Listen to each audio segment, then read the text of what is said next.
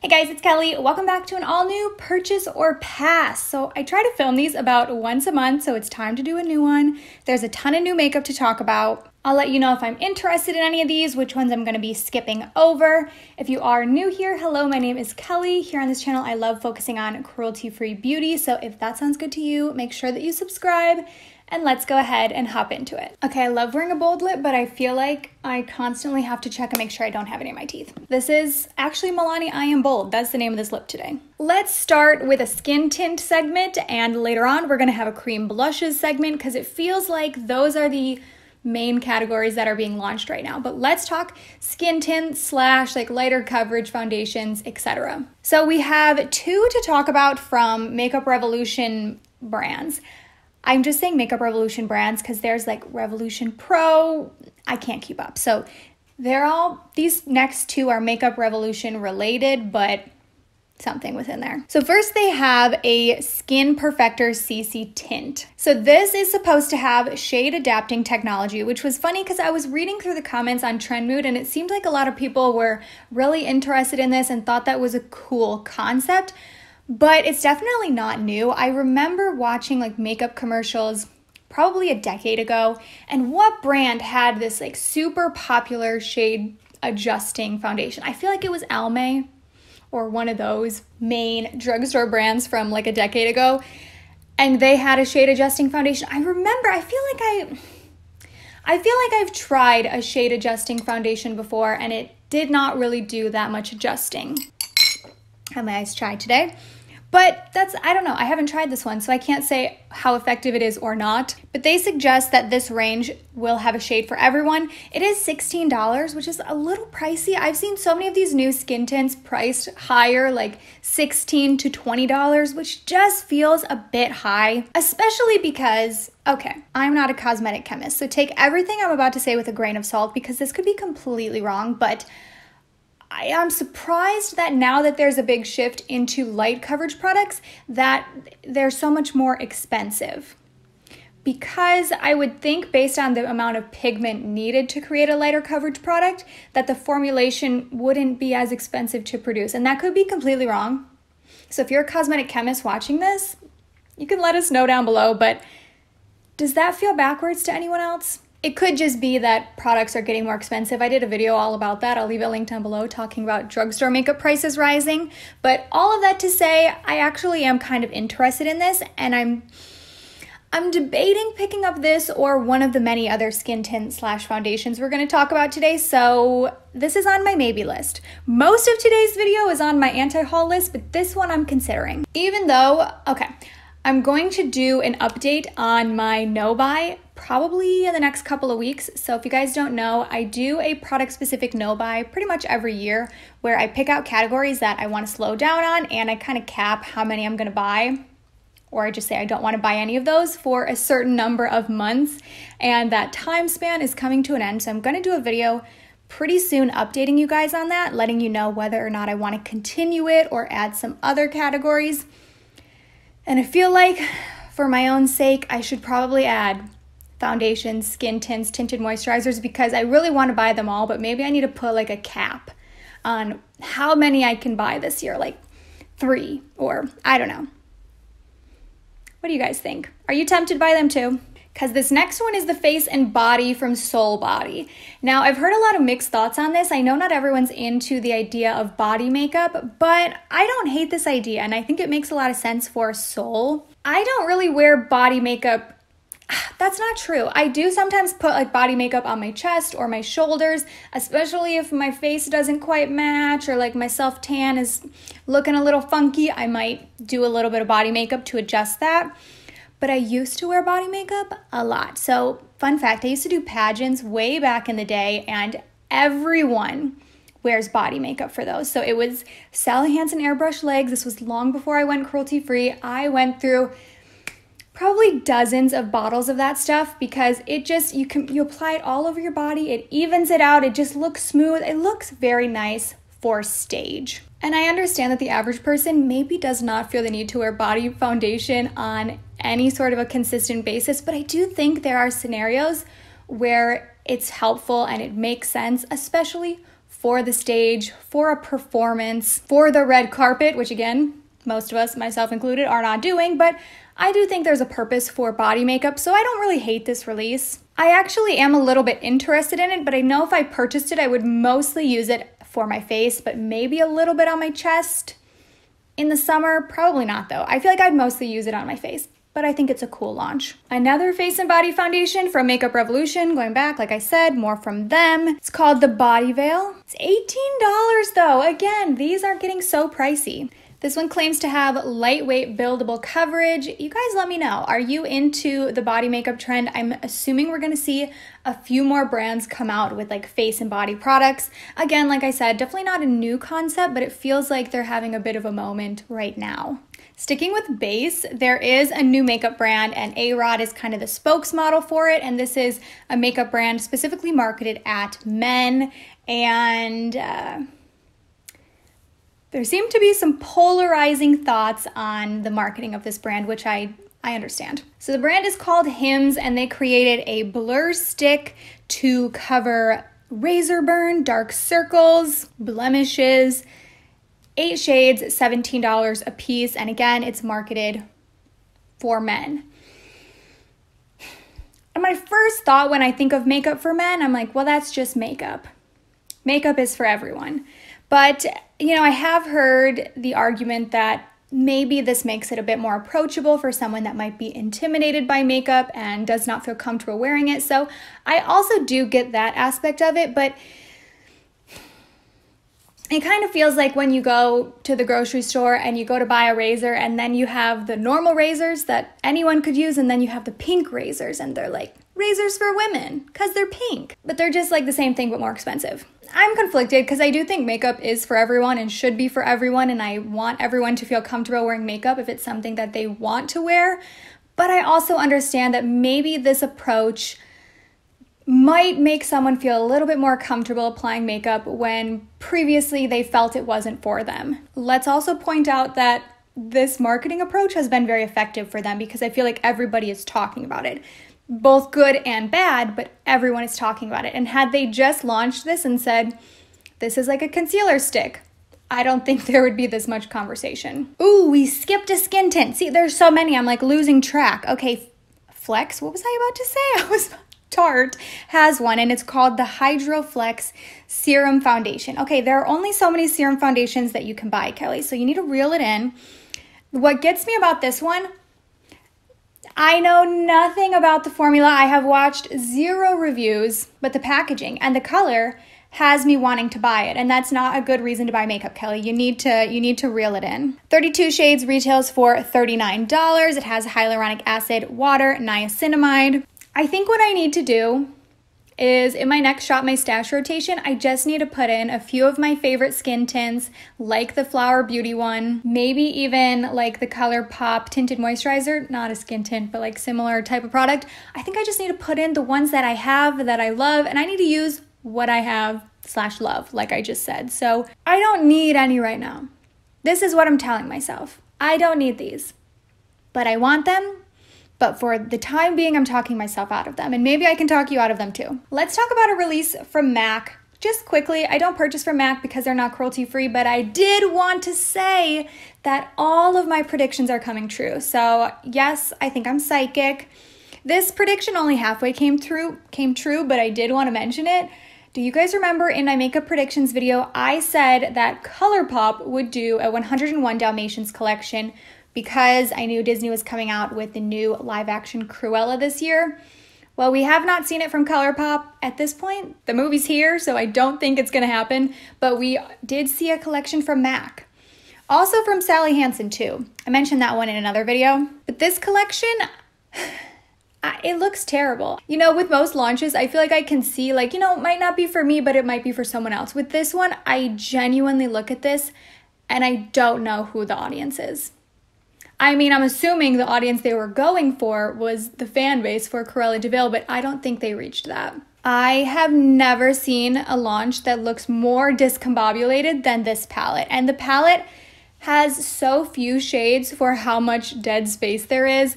This honestly feels like a MAC launch that came out 10 years ago that you could buy on eBay right now. This actually makes me more bummed that ColourPop didn't do the collection because I had this whole vision that I talked about in my predictions video where ColourPop would do like Dalmatian print blushes and bron well, the blushes and bronzers would be normal, but the packaging, they would have their older square packaging with Dalmatian print on it. Maybe even some split pans for like the Cruella hair. So much could have been done here and this is about as underwhelming as it gets. Okay, let's talk about the one lonely highlighter release before we jump into a sea of blushes. But Em Cosmetics is coming out with the new Moonbeam Cushion Highlight inspired by moonbeams.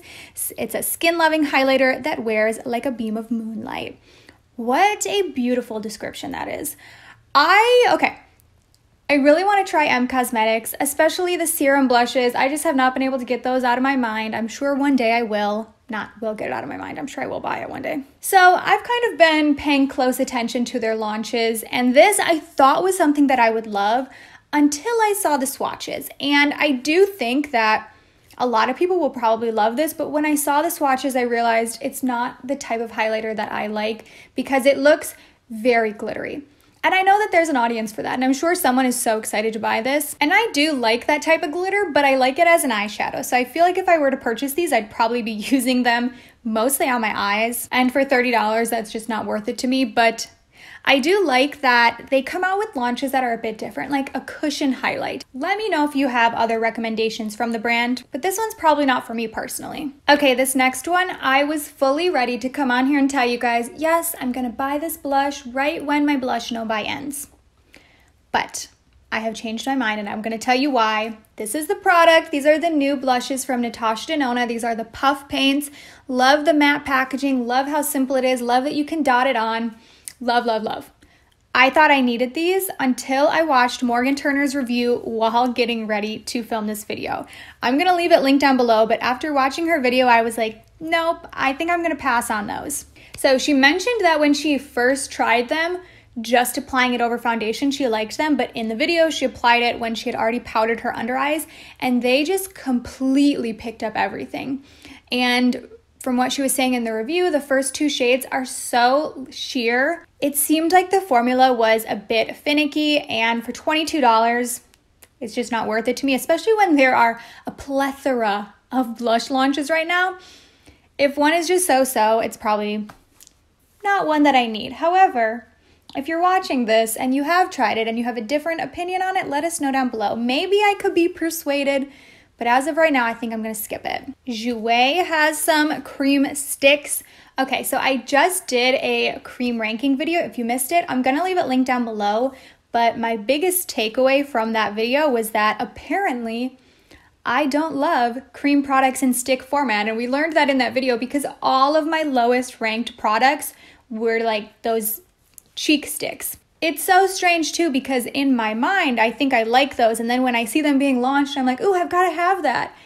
But in reality, they tend to be my least used and my least favorite type of cream cheek products. So just knowing that about myself, I know that these aren't for me. And this is their summer collection, but I wish they would have done at least like three of them.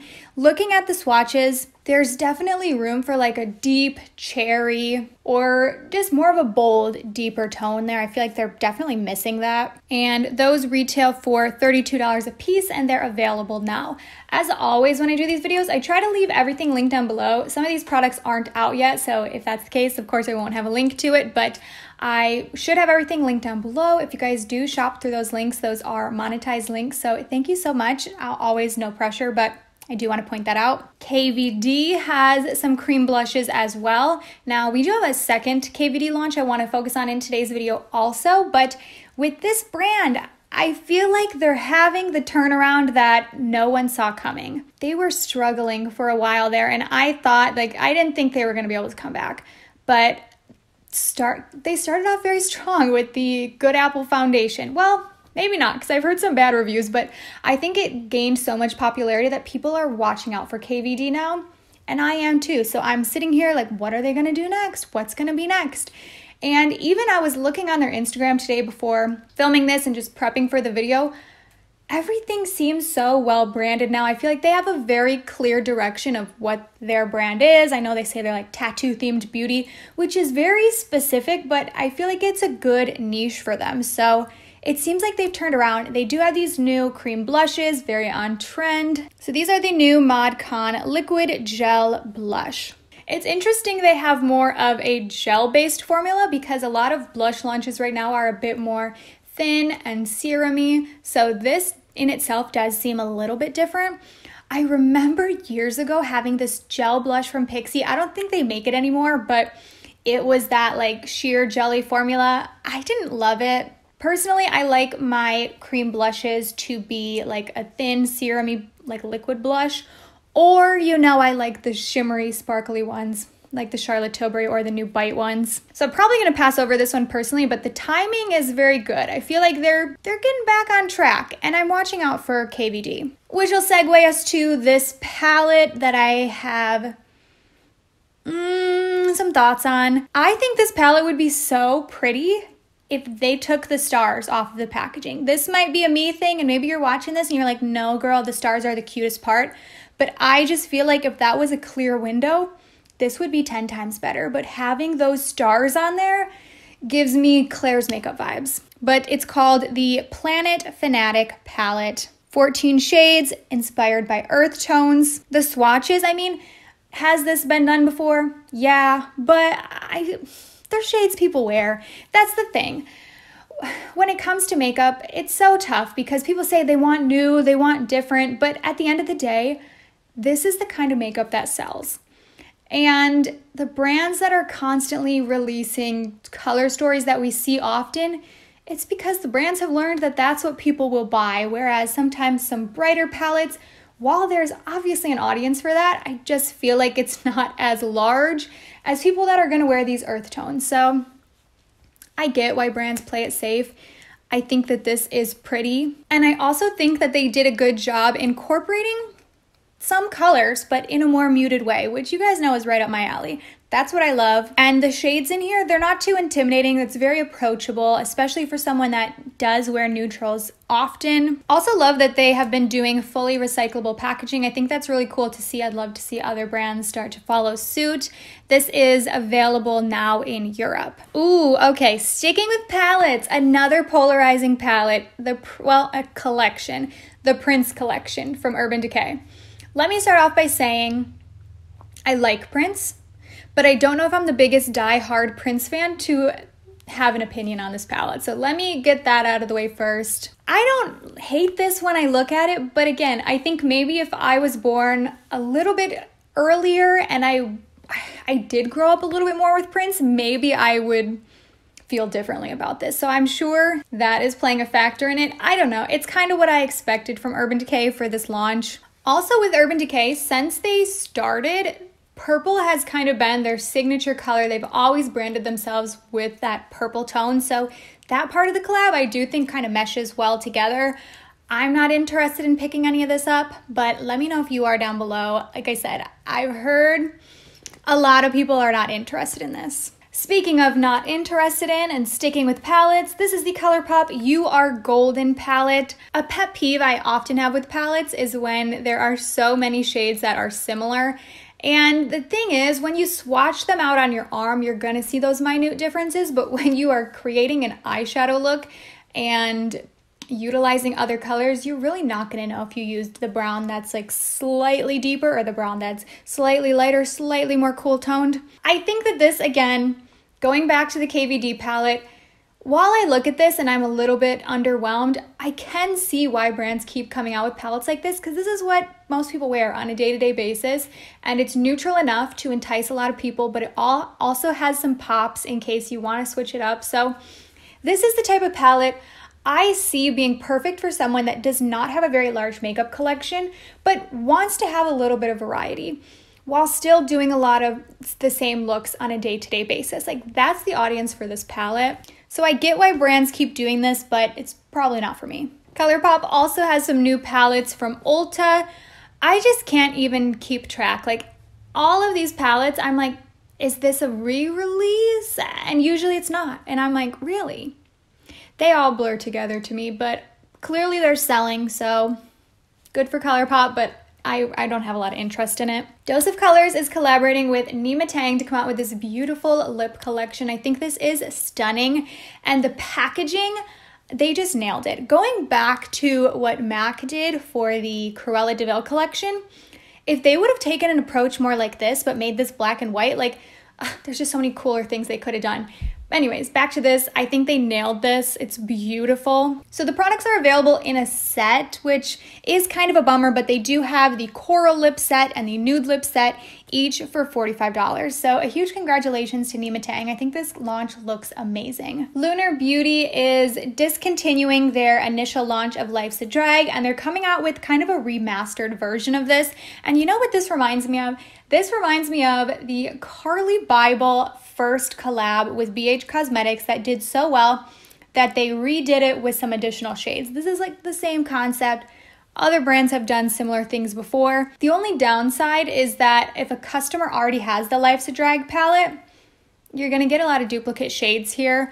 Maybe if that's your favorite palette though, maybe you've hit pan on a lot of those. I feel like there's a lot of range to a palette like this though, especially because it has a white and a black. So whenever you have those shades in a palette, they expand the amount of looks you can create significantly, especially when you have kind of like a rainbow of colors, plus you have the white and the black. You can mix things, you can make it more pastel, you can mix shades together. For me, you guys know, three years ago ish, I loved bright eyeshadow looks, but these days I wear something a lot more muted. Like I still love color and I still love playing around a bit, but I wear more muted colors. I'm not usually wearing primary, secondary colors on my eyes. I'm usually doing more toned down colorful looks. That's kind of my style. So this is definitely not for me, but I'm sure it will sell well for the brand.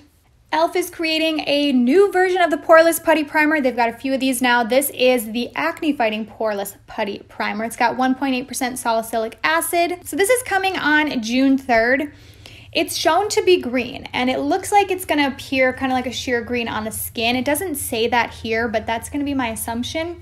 And that's great for color correcting if you do have a lot of redness. I get why e.l.f. did this because that product is so popular for them. They're making a bunch of different versions of it. It's kind of like the new version of their pump primers. Do you guys remember those when they had so many different kinds? It feels like that's the approach they're taking now with the poreless putty since it is one of their hero products. I definitely don't need this since I have almost an entirely full poreless putty primer that I do not use that often. I do not need to buy another one that is green, but I think this will probably sell well for e.l.f. Let me know your thoughts on any of these products that we talked about today in the comment section down below. Thank you guys so much for watching, and I'll go ahead and see you in my next one. Bye.